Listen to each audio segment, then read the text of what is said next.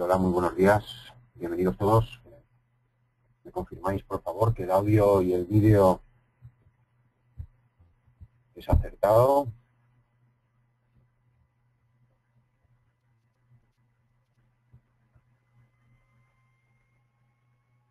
Buenos días, Francisco. Perfecto, Carlos. Buenos días, Antonio.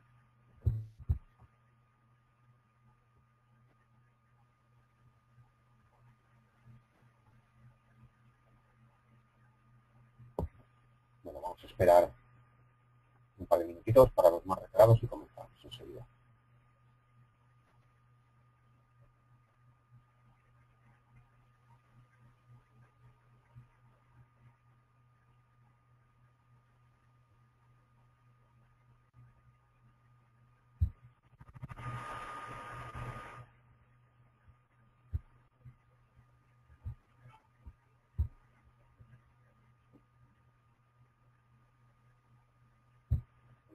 Buenos días,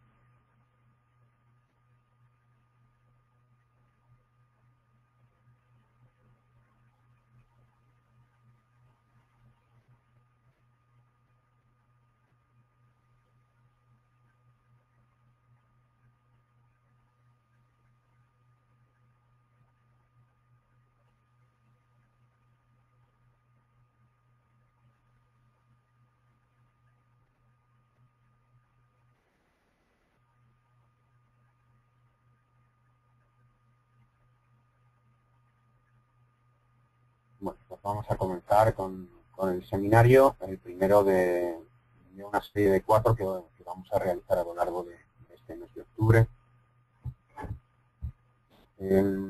Los distintos temas que vamos a tratar, algunos de vosotros ya estaréis al corriente, en el día de hoy el que nos va a ocupar es el, grano, los factores decisivos que existen en la fluctuación de los precios. Y va a ser eh, un seminario un 90% teórico. Es un seminario que, que, ha sido diseñado bajo, bajo la tutela de un, bajo las bases de unos documentos que están depositados en el depósito de documentos de la FAO. Así que la presentación que vamos a ver el día de hoy es una síntesis de todo esto y ha sido eh, elaborado para, para, intentar ayudar a, a los traders eh, que están en contacto permanente con, con las materias primas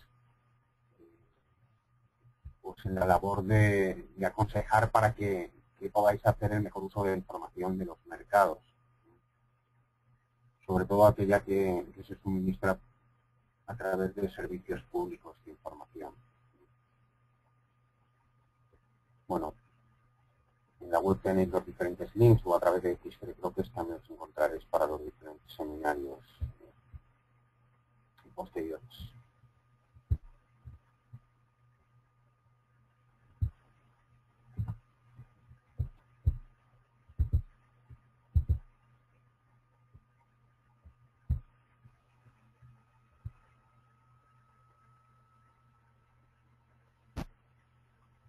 Eh, Marcelo, eh, sí, pero, pero no a corto plazo. Eh, acabamos de, salir de, casi dos meses de, de, cursos por toda España.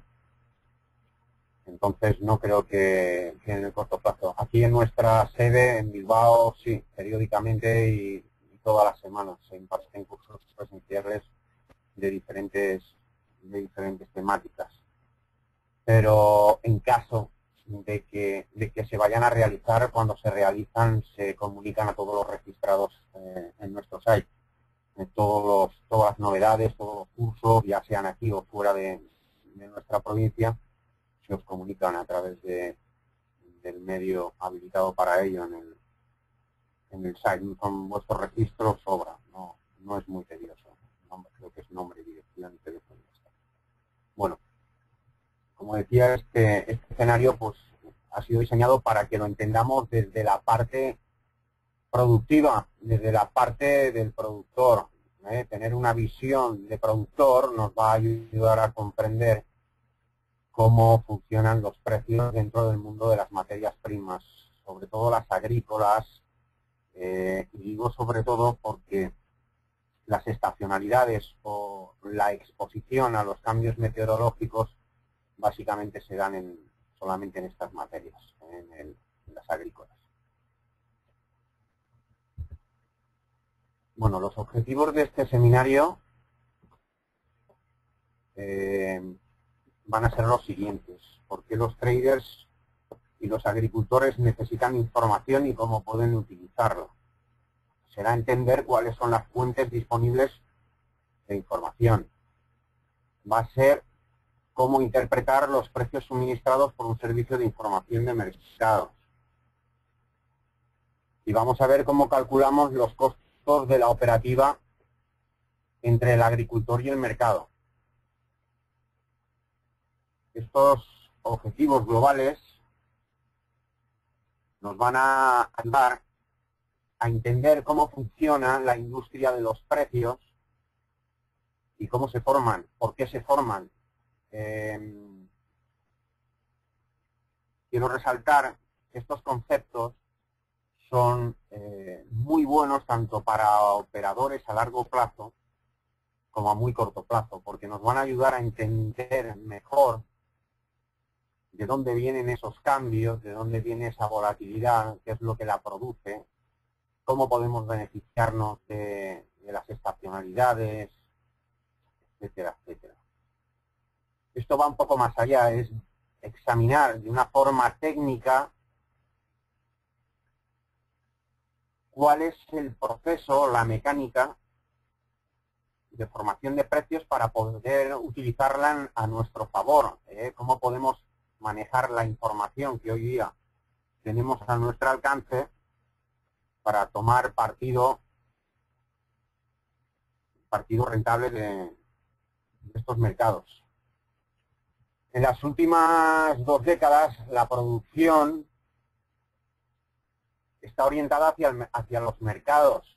Eh, ahora los productores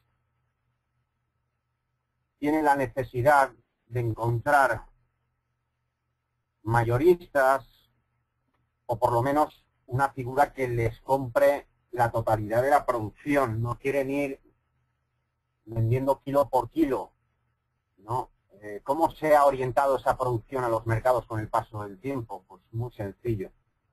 Los gobiernos juegan un papel muy importante en, en esto que es nuestro nuestra subsistencia, los alimentos de primera necesidad. Los gobiernos deciden imponer o no tasas a las exportaciones, deciden imponer o retirar ayudas, subsidios, estímulos a la producción, etcétera.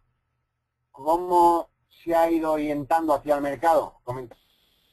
antes, bueno, pues por una parte, los gobiernos reducen las actividades de comercialización. ¿Qué quiere decir esto? Os voy a poner un ejemplo muy sencillo. ¿Os acordáis que Aquí en España, hasta no hace muchos años, en cualquier matadero se podía matar un gorrín, una, una oveja y la comprábamos sin ningún problema. Bueno, el gobierno decidió que no, que no era sano, que muchos muchos sitios donde se hacía la matanza no, no, no tenían los requerimientos mínimos para desarrollar esa actividad, así que eliminó por completo que pues todo eso de todos esos canales a través de los cuales se hacía negocio. Se mataba la carne y se vendía. En mi pueblo se ha hecho, y digo que no hasta hace mucho tiempo. Mataba gallinas, cerdos, lo que puse, y encima de una pila de, de granito, con, más mierda de las gallinas de la que te puedas imaginar, y de los, de los conejos, y, siempre ha sido así.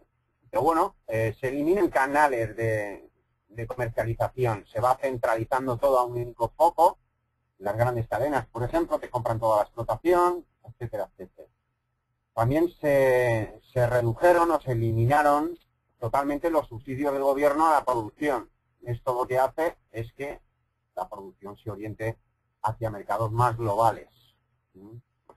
También se han mejorado las técnicas de cultivo. Eso también ha hecho que las producciones sean mucho mayores, mucho mejores. mucho más abundantes. También hay factores que van en el contra, pero luego los trataremos. También ha habido un aumento en la demanda como resultado de una mayor demografía, un aumento de la población, cada vez hay más bocas que alimentar. Así pues, los mercados se globalizan. Y la creciente oportunidad para realizar operaciones de comercio internacional con productos perecederos. ante esta necesidad también se encamina las producciones a los mercados. Las técnicas de cultivo eh, juegan un papel muy importante en este, en este ámbito, porque casi cada año salen técnicas nuevas, maquinarias nuevas que hacen que el productor pues eh, tenga una rentabilidad extra en, las cosechas.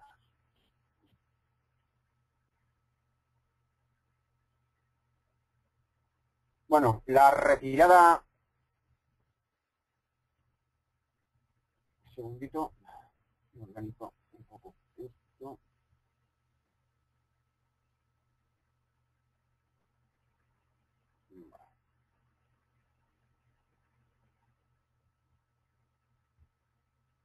Vale, ante los ante la reducción de las actividades de la comercialización de las agencias gubernamentales, lo que hemos dicho de la, retirada de estímulos, pues eh, prácticamente los gobiernos están desvinculando, se retiran de una vinculación directa con la comercialización agrícola. En África, eh, los gobiernos han estado clausurando gradualmente las distintas plazas de mercadeo que, incluyendo las de cereales que existen en, algunas provincias, en algunas regiones.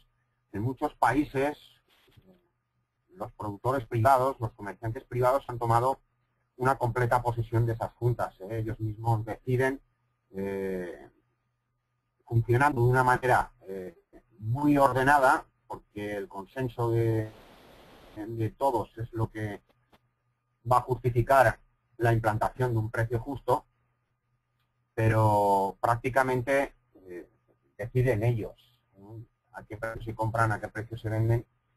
Eh, y en otras regiones del mundo, sin embargo, pues los cambios en estas prácticas han sido eh, menos dramáticos. Sin embargo, eh, pues han habido una tendencia general, digamos, a apartarse de esas plazas de, de mercanceos que están establecidas para, alimentos básicos y para otros cultivos se han visto ante la necesidad de buscar ellos mismos otros, otros mercados. Eh, en, todo el mundo eh, tenéis que entender que nunca han sido tan grandes como ahora las necesidades que, tenemos de información o que tienen los agricultores y los traders eh, para asegurarse una operativa efectiva y rentable. La reducción o eliminación de los subsidios a la producción bueno, pues antes las economías eh, que tenían una planificación centralizada se regían únicamente por una norma, por un consejo. Eh, recibían por parte del gobierno instrucciones tan simples como, como criar animales, cultivar forraje, trigo, patatas, no sé. Todo esto, que sepáis que a menudo no tenía ninguna relación con la demanda que existe en los mercados. Pero bueno, aún así las fincas eh, pues no tenían que preocuparse por, sacar fuera y comercializar sus productos, ya que el posible comprador final o el, que va a procesar la materia también estaba decidido por el Estado, ¿eh? que se encargaba de igual forma de organizar el transporte de esas mercancías. En gran parte de África, las, plazas de, de mercadeo, vamos a llamarle los sitios donde se llevan los productos, las producciones, a comprar y vender en lo que se dice el mercado de spot, pues en gran parte de, de África las juntas en general pagaban el mismo precio a lo largo de todo el país. Imaginaos esto, el costo que supone para aquellos agricultores que están localizados en áreas muy remotas, por recibir precios que no consideraban eh, o que no llevaban implícitos esos costos de transporte. Pues imaginaos, en algunos casos estos costes iban a superar el valor real de la mercancía en sí, ¿no? Pues hoy en día, después de la después de que se liberalice eh, el tipo de, la forma de mercadear, pues ya, ya tenemos cubiertas muchos, muchas de las necesidades. De todas formas, lo que comentaba, eh, que es la esencia de este seminario, que se necesita información, ¿eh? se necesita información, porque el productor que desea vender su partida al mejor precio necesita saber qué precios fueron los que se desarrollaron las temporadas pasadas, es decir, un histórico de precios, y a qué precio lo está vendiendo su vecino. Las técnicas mejoradas de cultivo, bueno, pues también ha hecho que se globalicen los mercados o que las producciones se globalicen, se progresa en el cultivo y tenemos más variedades nuevas de semillas. Los agricultores también están adquiriendo mayor capacidad de producir cultivos que antes no podían o que digamos que son los que se llaman hoy en día los que están fuera de estación. ¿eh? Antes era impensable comerse unas naranjas en agosto o, unas uvas en abril. Las técnicas van evolucionando. Estos desarrollos, pues, van teniendo una particular aplicación eh, en el caso de la agricultura y con el uso de las técnicas modernas y de unas semillas mejoradas eh, que aguantan tempestades, que aguantan humedades, que aguantan hongos. Los agricultores, los que estén verdaderamente orientados hacia el mercado, pues a partir de ahora ya pueden considerar la posibilidad de que pueden abastecer los mercados en épocas del año en las que los precios estén altos.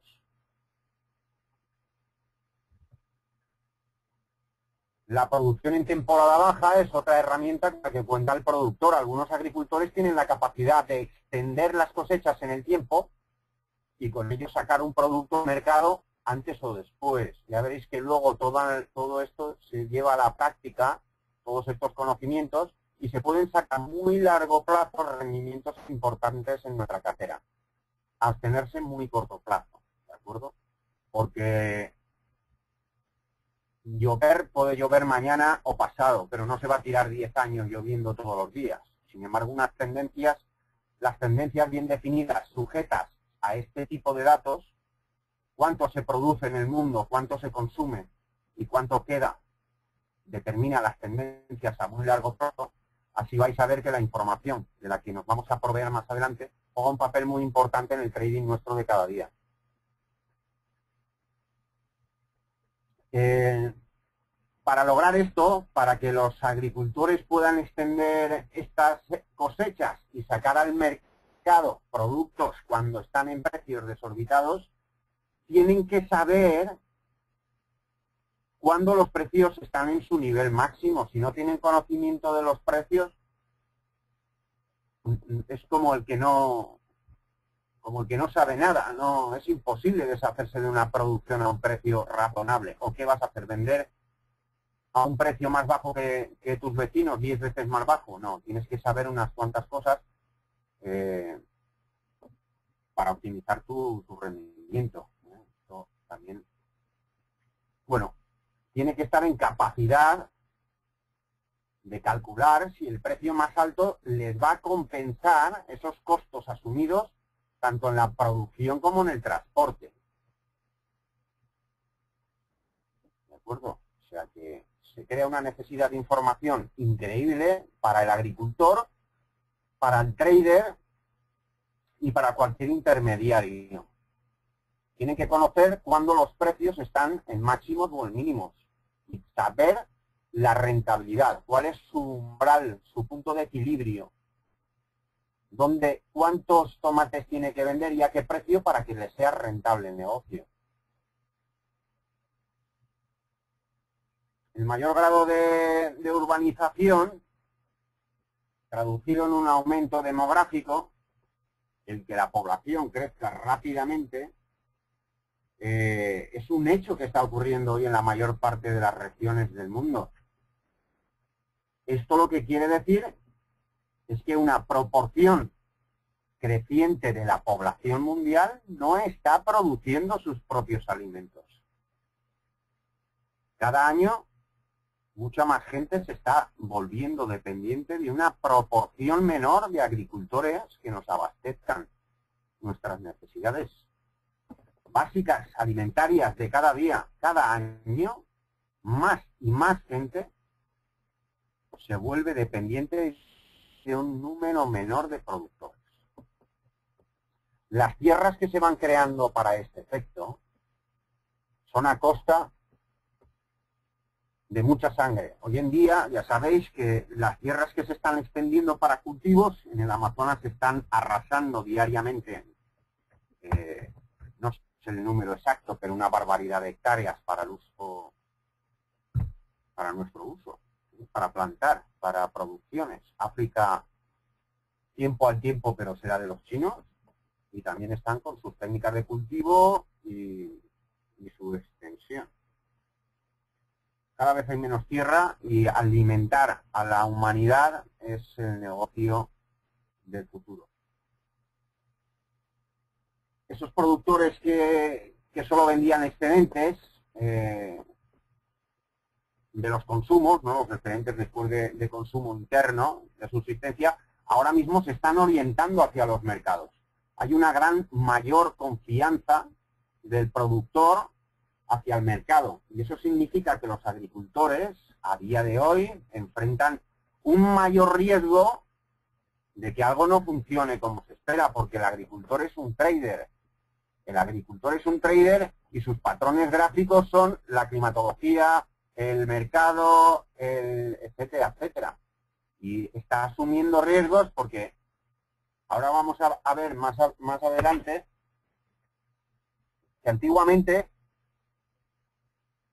yo plantaba lo que plantaba mi vecino y encima lo vendía a quien se lo vendía a mi vecino. Y esto hoy en día ha cambiado. Hay una gran individualidad por parte del productor ante la gran variedad de mercados para abastecer el mercado étnico que tenemos instalado en nuestro propio país, para abastecer otros gustos que van creciendo con la expansión de los comercios. La expansión del comercio internacional de los productos perecederos quiere decir que ante la variedad de alimentos frescos comercializados internacionalmente, pues han crecido en forma rápida en las dos últimas décadas, 20, 30 años, no ha sido más. ¿eh? Esto ha sido posible Punto número uno, por la disponibilidad de la capacidad que tenemos hoy en día de transportar las materias, ¿eh? es un transporte aéreo y veloz y además es muy frecuente. Y punto número dos, los importadores en los mercados de los países desarrollados se han aprovechado de, esta facilidad. ¿Para qué? Pues para poner los productos a disposición nuestra durante todas las épocas del año eh, en tanto en cuanto que antes solo podían hacerlo solamente durante la temporada de que se da esa, a esa propia materia, ¿eh? durante la se llaman temporadas domésticas, es decir, si la uva es de desde julio hasta septiembre, pues de julio hasta septiembre se podía consumir uva en todo el planeta. Ahora no, ahora se pueden consumir de todo a lo largo de todo el año.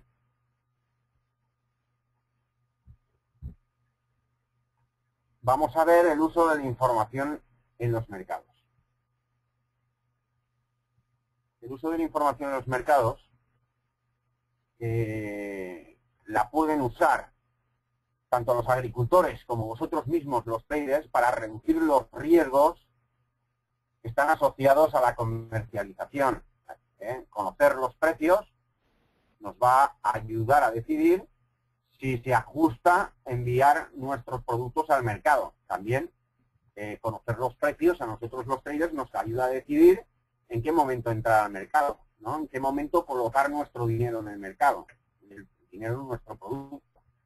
También decidir dónde vender, en qué etapa de la cadena de comercialización, en qué etapa del desarrollo de la tendencia me encuentro. Estoy en una fase de distribución, de acumulación, y en qué mercados puedo vender, en Hong Kong, en Tokio, en Brasil.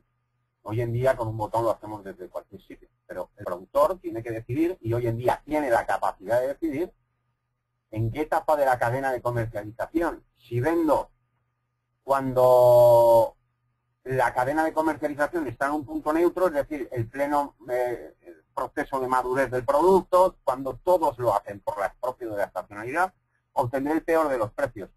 Pero si dentro de la cadena de comercialización elijo retener un poco mi producto porque este lo, lo permite y soltarlo al mercado cuando los precios están altos, pues estaré maximizando mi rentabilidad ¿eh? con el mismo producto. Eh, verificar los precios que se están recibiendo. Eh, es muy importante saber si estamos negociando bien con, con, con otros comerciantes. ¿Seré yo el tonto de la película? ¿Estaré pagando yo más comisiones que mis compañeros? La calidad de los productos tiene que ser igual o mejor a la de los otros agricultores, porque si tenemos una calidad inferior, lo mejor es que nos deshagamos del producto en cuanto podamos y, y, al, y, al, mejor precio ofrecido, porque a partir de ahí va a ir en declive. No vamos a conseguir nunca un mejor precio por una calidad inferior. Y si se están obteniendo, eh, si están obteniendo nuestros brokers, nuestros agentes en el mercado los mejores precios. Luego también decidimos si se almacena o no. Los agricultores pueden almacenar algunos productos durante varios meses si creen que el producto va a subir y que el precio, el precio va a subir. Pueden decidir también si se siembra para la temporada baja, es decir, que las técnicas agrícolas modernas hoy en día nos ofrecen la oportunidad de cultivar unos productos cuando los precios ya están altos. ¿eh? Decidir si se cultivan productos diferentes. Lo que os comentaba, los, los agricultores ya pueden decidir si siembran productos nuevos o siguen plantando lo de sus vecinos. Pero claro, van a necesitar, eh, progresivamente calcular si ese cambio le, les va a producir rentabilidad. La información es esencial para los agricultores que deseen orientarse completamente hacia el mercado. ¿Por qué? Porque les van a ayudar a reducir los riesgos que están asociados con la comercialización, les van a ayudar a decidir dónde venden la producción, la información les va a ayudar a verificar que los precios que les están ofreciendo están de acuerdo con los precios del mercado, la información les va a ayudar a decidir si se almacena o no, les va a ayudar a decidir si se cultivan productos para temporadas bajas, y les va a ayudar a decidir si se cultivan productos diferentes. ¿Veis la posición global que puede adquirir hoy en día el trader o el productor con la información? Así que la información es esencial siempre, ya seamos partidarios del análisis fundamental o del análisis técnico, necesitamos información, porque el análisis técnico es cierto que no nos basamos en la información pro propiamente dicha, en la que va más allá, en los hilos que mueven la marioneta. Va en cómo, trans, cómo trasladamos, cómo reflejamos la información en las gráficas, con unas líneas, con unas herramientas que nos ayudan a, decidir correcciones, pero necesitamos información. ¿eh? Sin información no se puede avanzar. ¿Cómo nos ayuda a reducir los riesgos? ¿O cómo entramos en la parte de la reducción de riesgos? Todos agricultores del mundo tenéis que entender que se enfrentan a riesgos. Todos estén donde estén ubicados a lo largo y ancho del mundo. Obviamente, están expuestos a qué? Pues a que el mal tiempo les dañe o les destruya totalmente sus cosechas. Tienen una alta exposición a los fenómenos meteorológicos también a que los precios del mercado que, que no sean lo suficientemente buenos como para que les permitan tener rentabilidad. Y aún peor, ¿qué les puede ocurrir? Pues que no puedan cubrir ni siquiera los costos de producción. Porque hay agricultores, señores, que descubren algunas veces que los precios que se les pagan no son ni siquiera suficientes para cubrir esos costos de comercialización, transporte, manipulación, etcétera. Aquí tenemos un ejemplo. Para un productor de tomates, los costos de producción tenemos que son 30 euros por, por cada 100 kilos. ¿eh? De estos, los costos de comercialización, perdón, además los costos de comercializar esta producción son 15 euros por kilo. Tiene unos costos totales de 45 euros. Esto es su, punto de equilibrio. Él sabe o tiene que saber cuántos tomates tiene que vender para hacer rentable su producción, su trabajo, su inversión. Entonces, aquí en la tabla de abajo podemos ver que si el precio de mercado le van a pagar 60 euros, los costos de producción más los costos de distribución los saca con creces y aparte gana 15 euros de beneficio. Perfecto. Un buen precio de mercado, te cubre los costos de producción, los costos de distribución y en el beneficio de la pérdida tiene que ir incluido tu salario. ¿De acuerdo? Y el de todas las manos de obra. En costos de producción y costos de distribución están ya incluidos estos precios por kilo. ¿eh? En cada precio por kilo pues irá el 0,75 céntimos de, pegatinas para de, de, embalaje también para las cajas. Eh, de mi pegatina, con mi número de, socio, con mi Euskolabel, eh, lo que sea. ¿De acuerdo? En el segundo ejemplo, tenemos un precio que nos enfrentamos a un precio de mercado de 30 euros y fijaos, podemos, los costos de producción los sacamos, es decir, que, recuperamos los costos de producción, sin embargo, los costos de distribución no los, no los sacamos. ¿Eh? Tenemos una pérdida de 15 euros por kilo o aquí podemos jugar con distribuirlo nosotros y nos quedaríamos a la par. Ese año ni hubiésemos ganado ni hubiésemos perdido, pero por lo menos lo hemos pasado cubriendo todos los todos los todos los gastos. Si nos enfrentamos a que el precio eh, los costos comerciales seguían igualmente por cada 100 kilos, ¿no? Eh, sí, exactamente, exactamente. Sí, aquí en el ejemplo no está, pero sí, están, son por 100 kilos. Exactamente. Si no, exactamente, 30 euros por kilo. cualquiera que compra tomate. Exactamente. La información sobre los precios del mercado y las cantidades disminuye este riesgo, así como la disponibilidad de series históricas de precios. Ahora os explico. En el tercer supuesto que nos enfrentamos a un precio de mercado de 10 euros, no cubrimos ni los costos de producción ni los de distribución, entonces no interesa sacar este producto al mercado. No solo nos sacamos los de distribución, pero tampoco los de producir. Entonces producirlos, ir al campo a recogerlos no me interesa. A veces es mejor dejarlos ahí que se pudran en la planta. ¿De acuerdo? Porque si lo saco ya, va, ya, voy a tener un costo de distribución fijo. ¿eh? Distribuir esta mercancía, ahora, ¿a qué precio me la van a pagar? Pues quizá no, no, cubra, no cubra nada. Bueno, eh, ya veis que la información, obtener información sobre los precios del mercado y sobre las cantidades, al productor le disminuye todo este riesgo. ¿eh? Porque yo conozco a qué precio está el mercado y ya sé si me interesa sacarlo a mercado, si no, si jugar con los costos de distribución, esto se hace a grandes rasgos, esto es sencillo, pero detrás de esto hay bastantes variables más que influyen, como el combustible, la maquinaria empleada, pero bueno, todo eso está en el costo de producción, eh, que ahora mismo en el ejemplo pues eh, no corresponde para nada, pero es básicamente.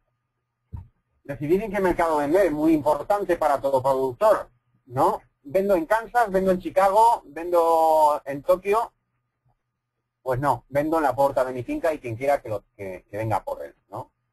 Bueno, pues el precio es otro, mucho más barato, ya que asume todos los riesgos a partir de la finca el mayorista.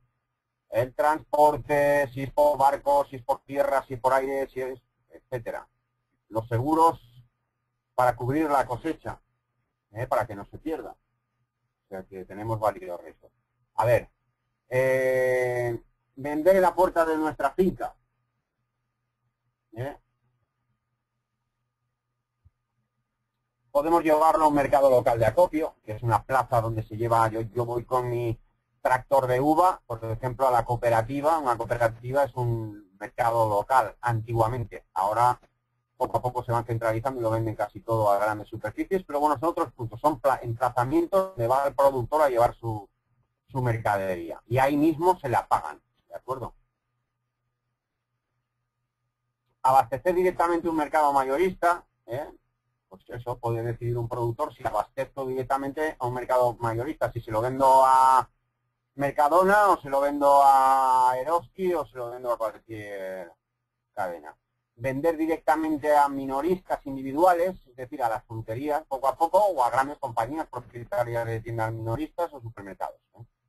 Vender a compañías con las cuales se tienen acuerdos o contratos para la compra de cosechas, vender directamente a los consumidores urbanos. El productor puede decidir en qué mercado vender. Puede decidir almacenar. Ya hemos dicho que los agricultores cultivan productos perecederos y apenas pueden escoger cuándo vender. ¿eh? tienen la capacidad de adelantar o demorar la cosecha, pero tienen que vender sus productos cuando están a punto.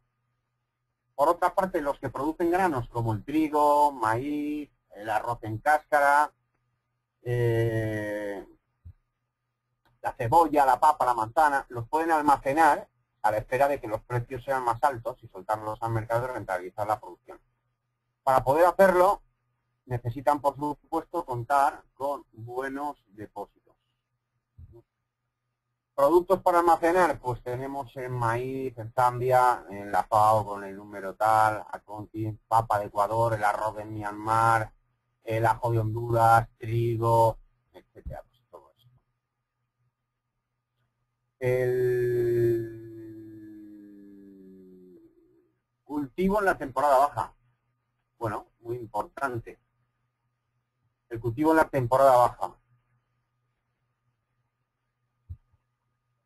La ventaja de contar con unos datos, con información sobre las tendencias estacionales, es decidir sobre cuándo producir. Esto para el productor es muy importante. Si planto en invierno y me arrasan la producción, y planto en invierno del año siguiente y me arrasan la producción, los fenómenos atmosféricos, entonces vosotros creéis que yo voy a ser tan tonto de un tercer invierno volver a poner la cara? No, porque me van a dar otra leche. Y esas duelen, os lo aseguro. Entonces, la ventaja de encontrar unos datos de los que nutrirme, que me indiquen cuáles son las estacionalidades, eso lo tenemos. Eh, luego lo veremos en un seminario anterior que, ya ofrecí, luego os lo voy a mostrar. Es muy, muy fácil detectar las tendencias a partir de una serie de datos a largo plazo. ¿eh? Insisto, esto no es de la noche a la mañana. Un huracán no te da dinero mañana y pasado no.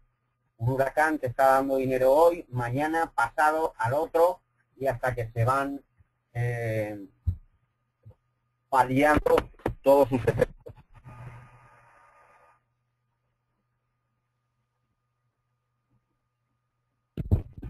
Los datos estacionales sobre los precios darán a los agricultores una buena idea de que los precios probablemente vayan a recibir por su producción de temporada baja.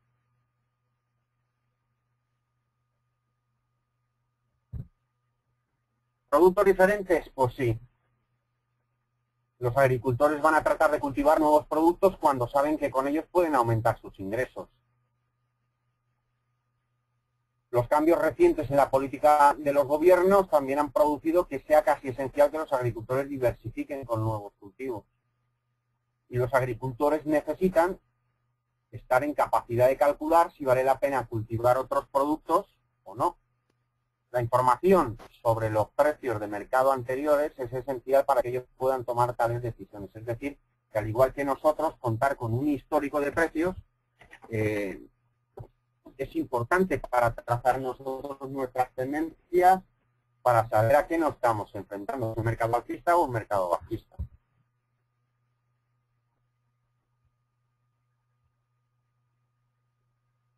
¿Cómo obtener información de los mercados? Bueno, las posibles fuentes de información de los mercados eh, son servicios de información administrados por el Estado, los principales. Eh, son independientes, hay una alta probabilidad de que la información sea correcta, nos ofrecen información que cubren varios años, nos suministran información que se puede usar para ayudar a los traders a obtener mejores precios, también para planear los productores su producción. Eh, no siempre llega a los pequeños agricultores las fuentes de información. ¿eh? No siempre llegan a los pequeños agricultores, sobre todo los más apartados, los que, cuentan con menos capacidad de actuación. Eh, vamos la mayor parte de los países en desarrollo, la principal fuente de información para los agricultores no son las gubernamentales, no son los servicios de información de los mercados administrados por el gobierno, la SIM. ¿eh? Algunos países no tienen estos servicios o generalmente eh, suministran información que es inadecuada.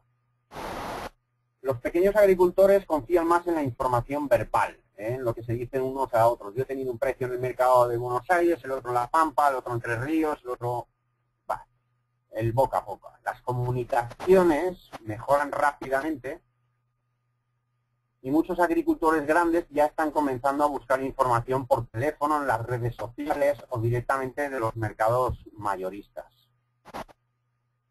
Eh, estos servicios de información de mercados eh, tienen una serie de características. Las principales fortalezas de estos sistemas de información administrados por los gobiernos consisten en que son independientes y que probablemente no van a suministrarnos información de forma deliberada errónea. ¿no?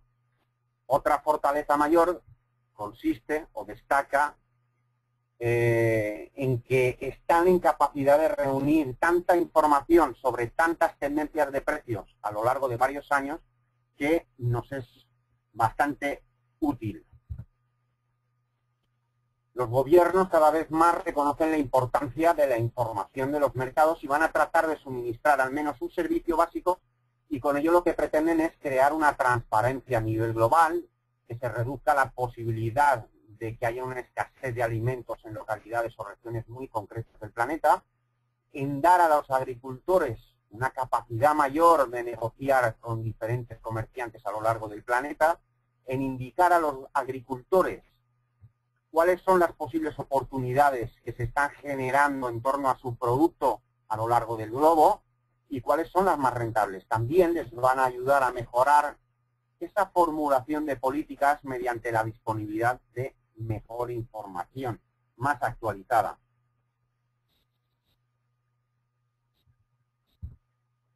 ¿Por qué cambian los precios en los mercados?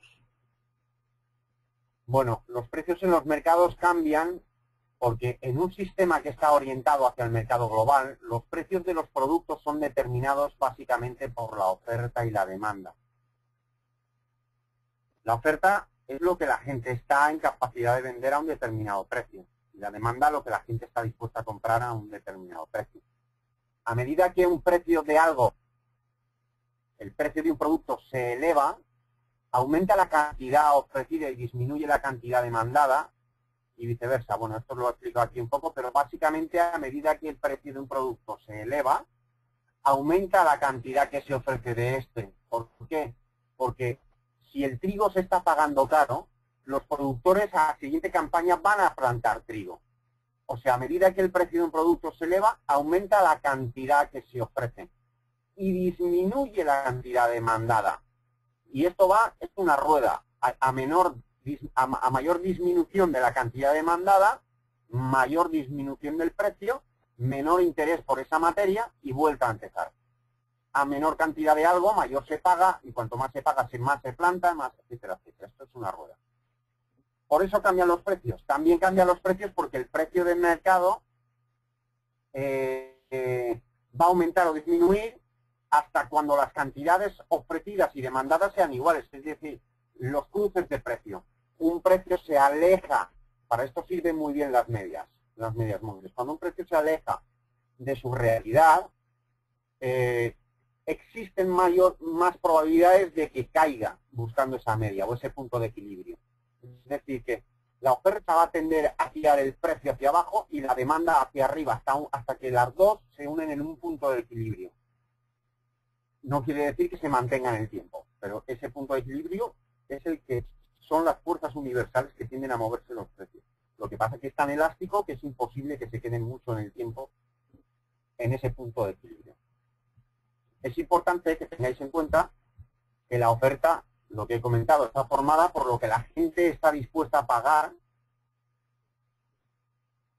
a un precio determinado. Y la demanda no es igual a cuánto quisiera comprar el público o a cuánto debiera adquirir para cumplir con una dieta de salud. Es igual a lo que el público está dispuesto a adquirir a un precio de mercado dado. Bueno, básicamente lo que hemos comentado. ¿Cómo se producen las fluctuaciones de los precios a corto plazo? Bueno, pues eh, básicamente las causas de estos cambios son la cantidad que existe de un producto ofrecido en venta en un mercado en un día concreto y en una cantidad concreta. También nos sirve todo esto vendido históricamente, es decir, en sesiones anteriores. Esa es la, básicamente la fluctuación a corto plazo, la cantidad que se está ofreciendo en este mismo momento en el mundo el interés que suscita esta venta y las cantidades que se vendieron ayer, pasado y antes ayer.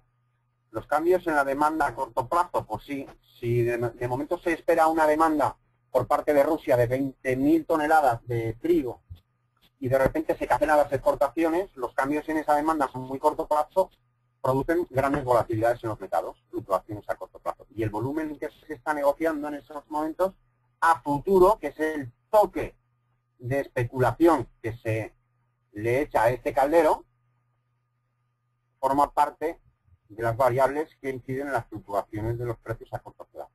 Las cantidades disponibles, los cambios en la demanda a corto plazo y los productos más competitivos. A más largo plazo, los factores que afectan al desarrollo de los precios también son la oferta, también es la demanda y también es eh, la, época del año. ¿eh? Ahora usualmente los precios de los cultivos anuales eh, se acomodan no a los mismos patrones estacionales que hace 20 o 30 años, porque como hemos dicho, los cultivos están cambiando, por lo tanto la manera de entender el trading con estos productos tiene que cambiar también.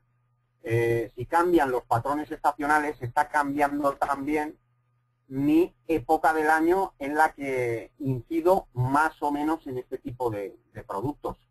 ¿De acuerdo?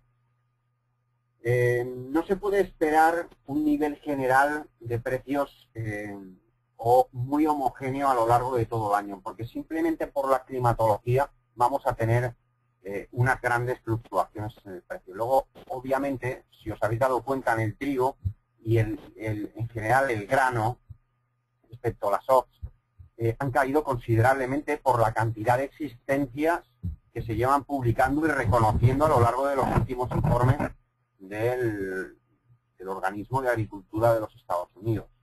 Así que ahí, como hay mucho de algo, los precios caen, caen y caen y caen y caen hasta que realmente eh, esto es una rueda. Si se alargan en el tiempo, ya van a dejar de plantar eh, para, para la siguiente temporada. Como hay mucho de algo, van a, van a dejar de plantar trigo, soja, eh, maíz.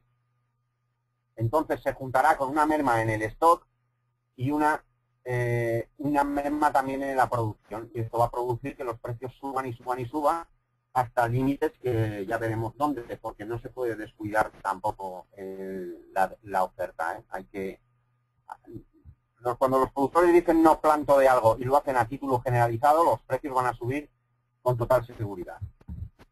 ¿Cómo se interpreta la información entonces? ¿Cómo vamos a interpretar la información para sacar partido nosotros y el propio productor.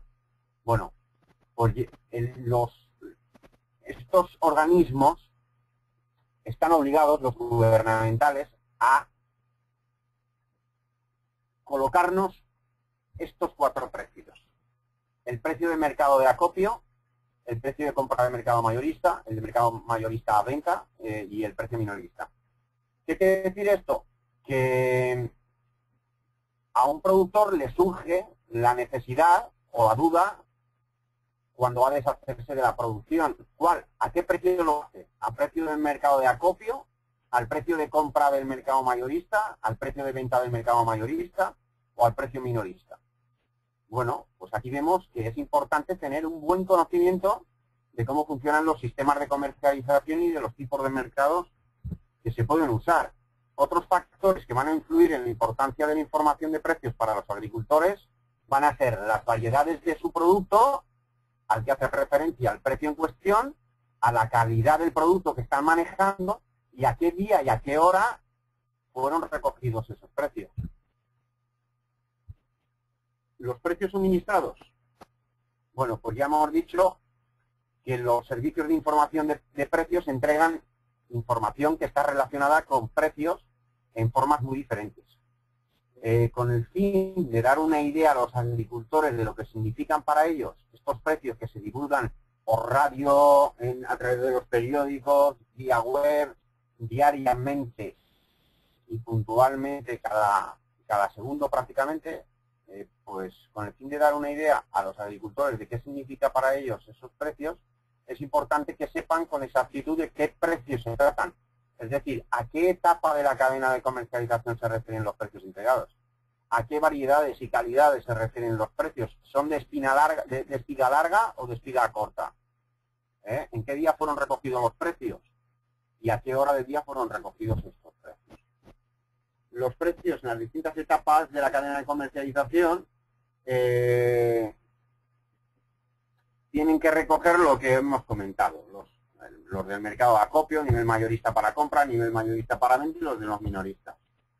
Em, los precios en el mercado de acopio, bueno, la mejor forma de explicaros qué son los mercados de acopio es lo que os he explicado antes. Son los lugares donde los agricultores se reúnen para encontrarse con los comerciantes. Eh, podéis ver en las fotografías un ejemplo de Nueva Guinea y de Papúa.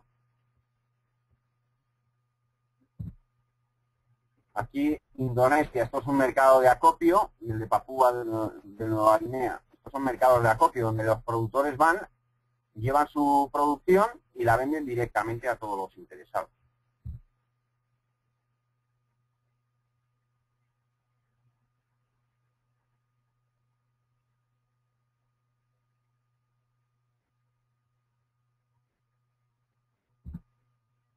Los días de la semana, pues muy importante saber qué día de la semana se está comprando o se está vendiendo. El cálculo del promedio ponderado de un precio de venta tenemos un poco más abajo un ejemplo suponiendo que se contempla una consignación de 100 kilos de tomate.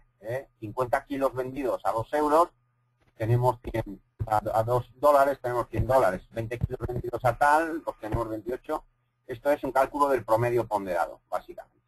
Estos son unas tablas que utilizan los productores para saber ¿eh? Cálculo de los costos de comercialización, muy importante, si sois productores, tenéis que saber cuáles son vuestros costos de comercialización. ¿Cuánto cuesta preparar la mercancía y empaquetarla? La manipulación, ¿cuántas personas la realizan? El transporte, las pérdidas, el almacenamiento, el procesamiento, los costos de capital, las tarifas y las comisiones.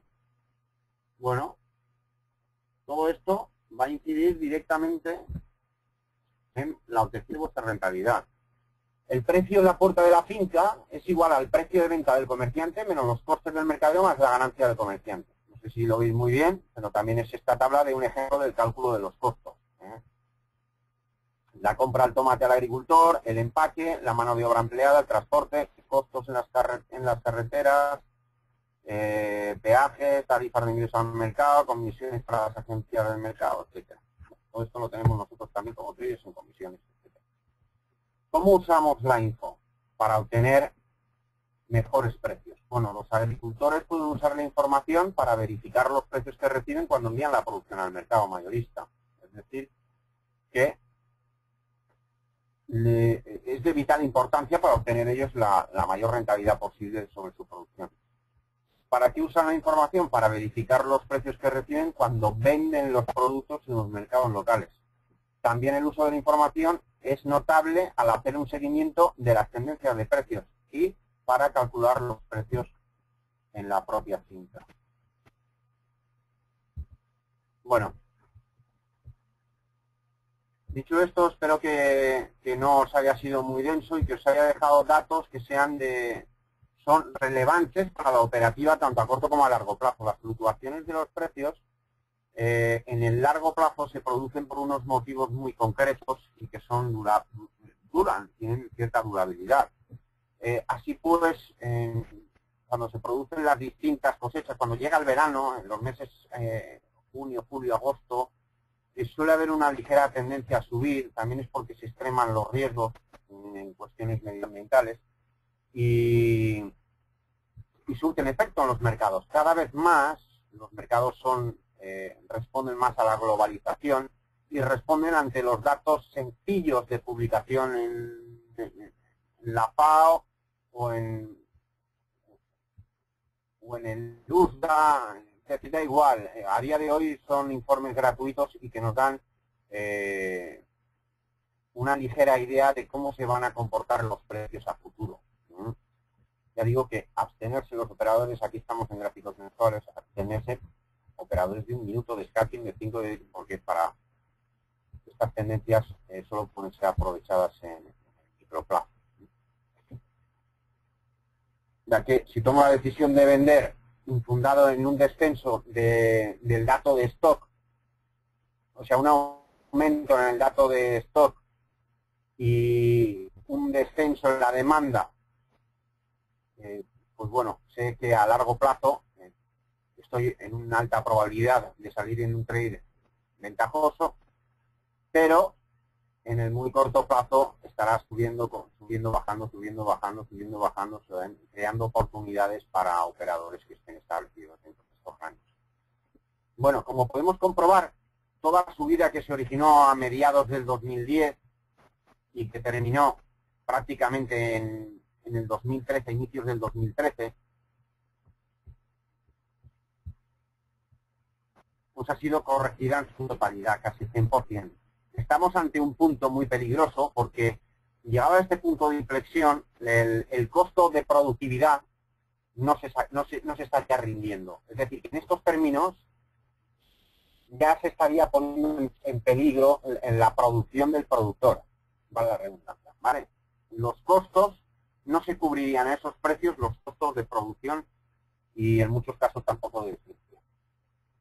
Con lo cual, yo personalmente me inclino a pensar que los precios pueden seguir descendiendo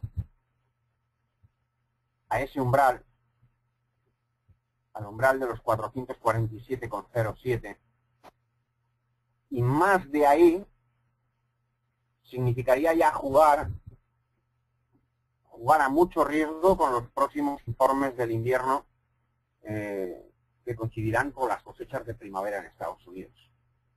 Es decir, de momento jugaría movimientos alcistas en el grano con un cierre inferior a 447 y movimientos alcistas con un objetivo no más allá de los 485 es decir, en el muy corto plazo.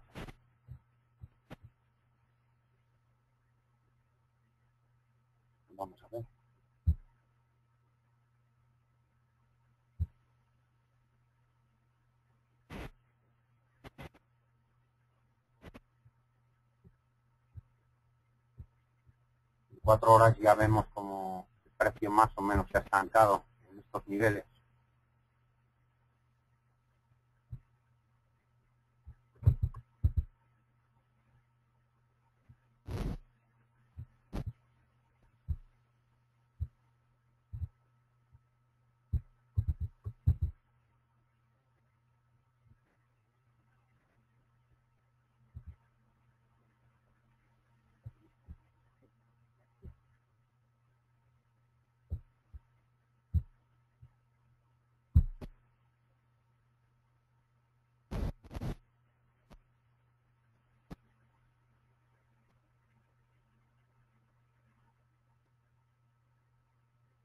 Bien, aquí lo vemos mejor. Aquí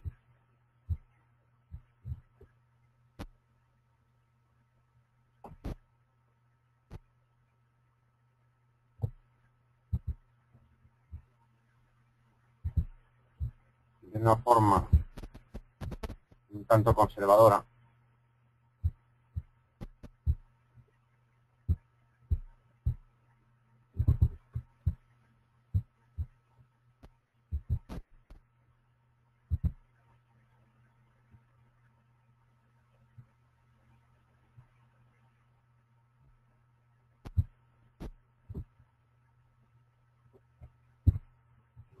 podría, podríamos jugar este movimiento.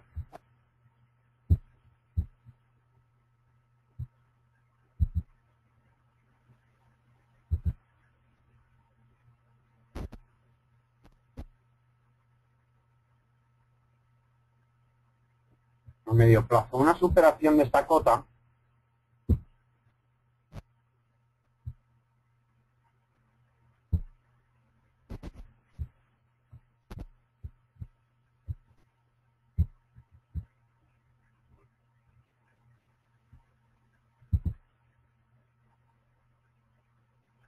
nos daría un objetivo en los 498.50. Por el contrario, si se rompe en corto, ya tenemos establecida, establecido mejor dicho, ese punto a tener en cuenta en los 440, 440 ya.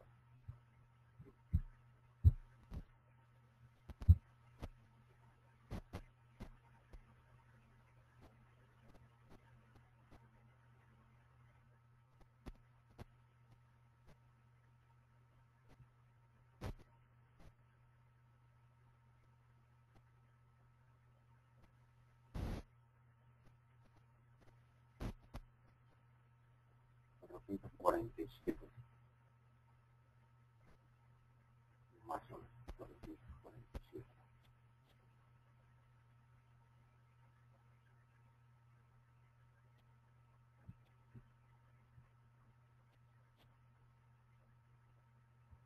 No obstante, la directriz de muy largo plazo.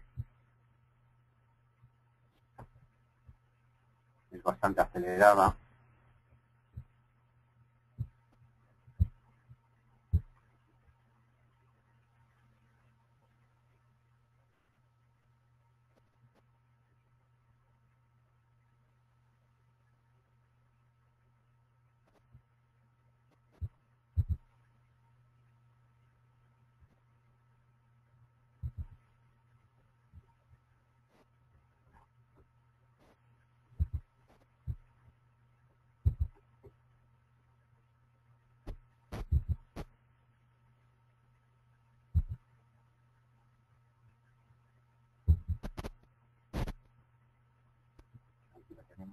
no, pensaría en compras serias a muy largo plazo si no se rompe este nivel, los 522. A medida que vaya tardando, pues será menos, los 400, los 500, los 515, 520. Ahora mismo se sitúa ese, ese punto alrededor de los 522. Pero bueno, aquí hay un bonito movimiento que se podría jugar en caso de, de una superación alcista de los 480, 479,37. Pero en caso de que la cotización supere en corto los 465, quedaría invalidada esta proyección. Aquí este rango lateral que nos está ofreciendo la materia en estos momentos en cuadros de 4 horas pasando nuestro análisis en cuadros de cuatro horas, vamos a determinar también desde la última onda.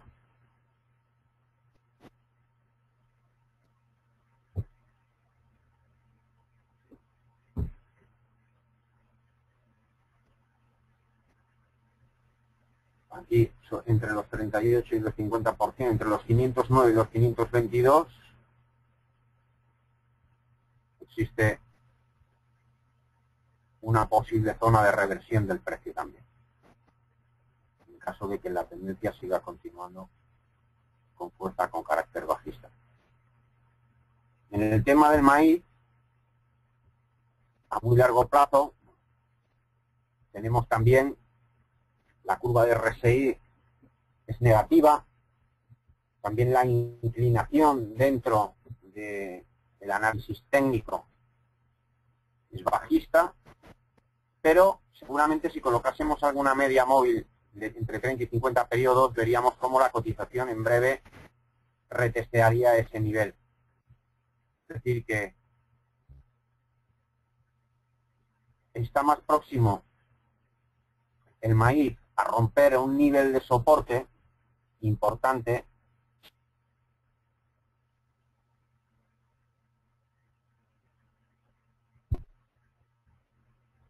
recogería todos estos mínimos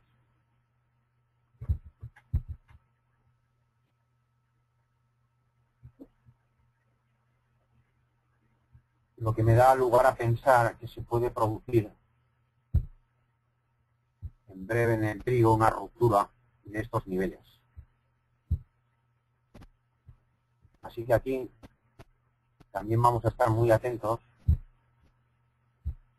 en los próximos días, porque podría haber una vuelta que podría dejarnos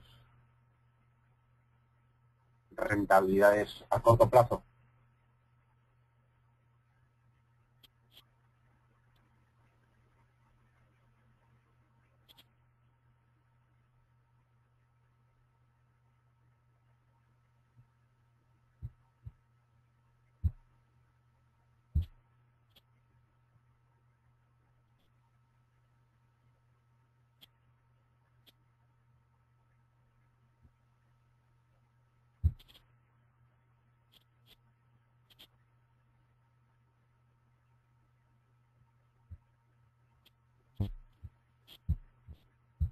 poner aquí la proyección.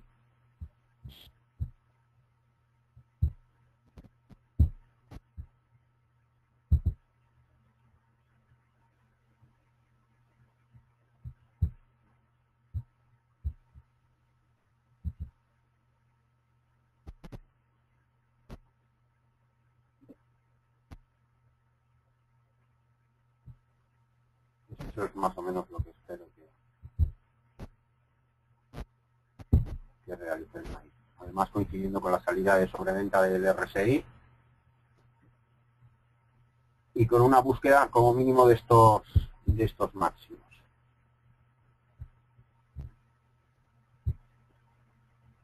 Sí, 379, 380.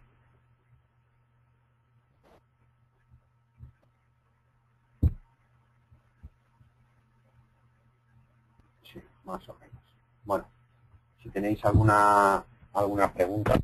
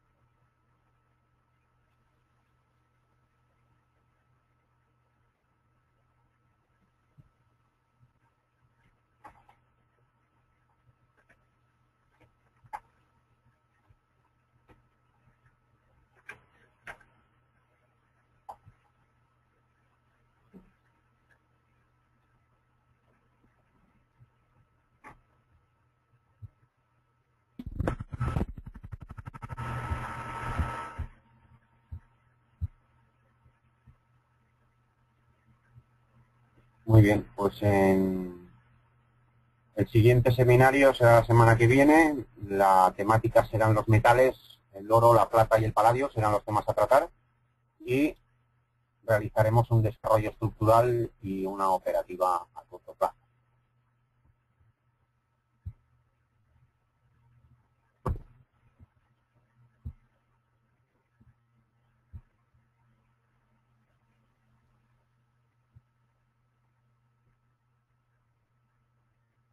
No tenéis ninguna pregunta, todo claro.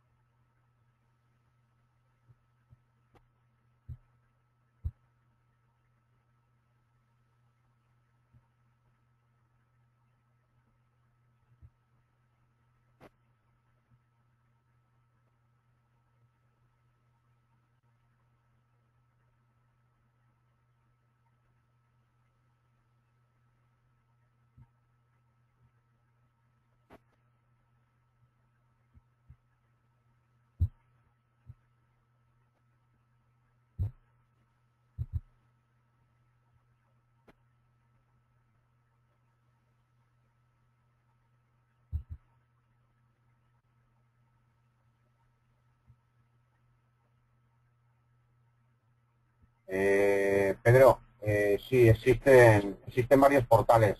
Bueno, de hecho existen muchísimos portales de los que nutrirnos de información. Eh, como la temática de hoy es el grano, pues eh, hay una muy buena que se llama Grimaldi Grassi. Vamos a ver, es Grimaldi Grassi. Grimaldi Grassi, corredores de cereales.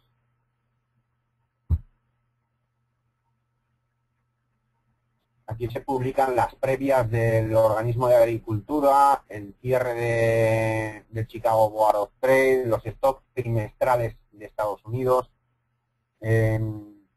todo, todo lo relacionado con, con el trigo, maíz, soja, girasol,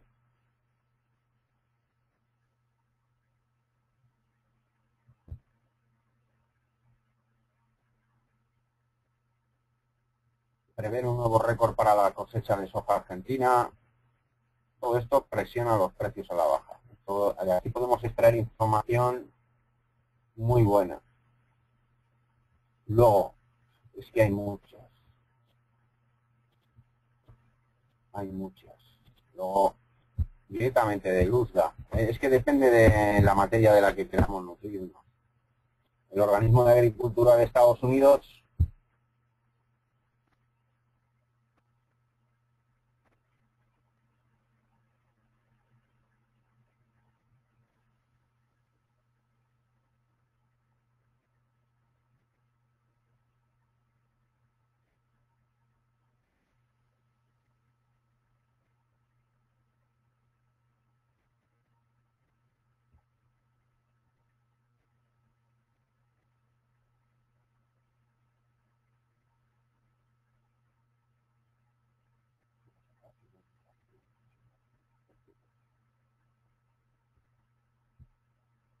o todos los informes que publica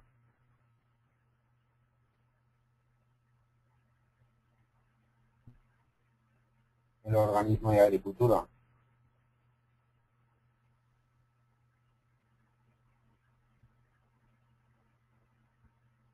Pero bueno, yo lo tengo tipo alerta.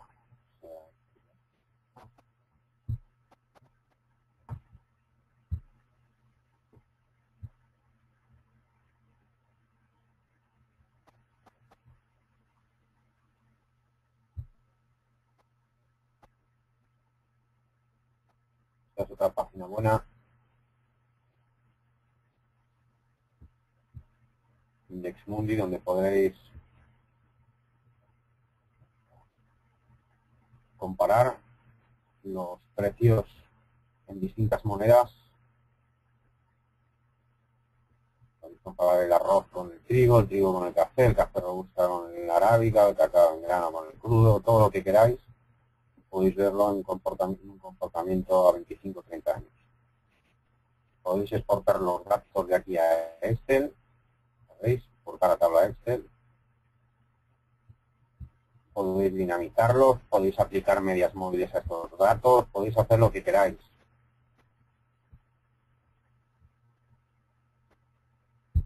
Luego los distintos, si estamos hablando en grano, mm, tenemos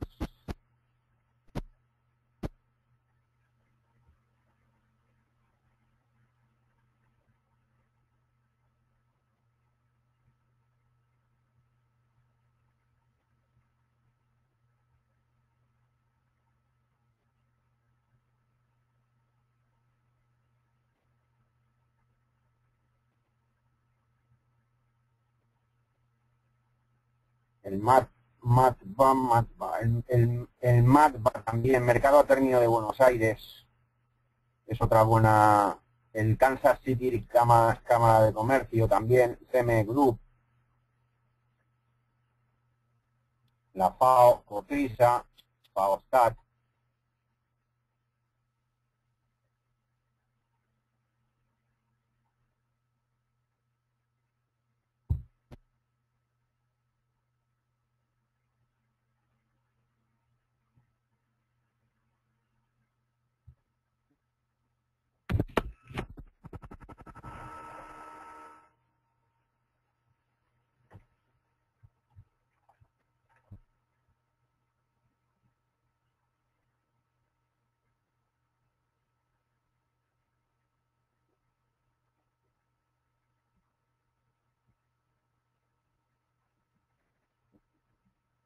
mercado.